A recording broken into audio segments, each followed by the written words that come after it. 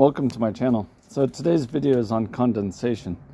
And these are trays that are designed for um, starting plants. And you can see that there's condensation on the inside of the tray's lid because this is cooling faster than the lower layer which is warmer longer. And it condenses moisture on the top.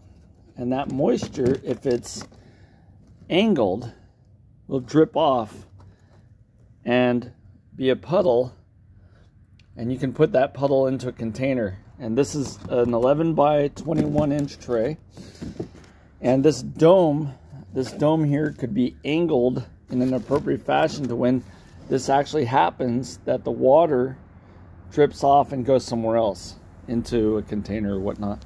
And this can be repeated over and over and over again very easily. Have a great day.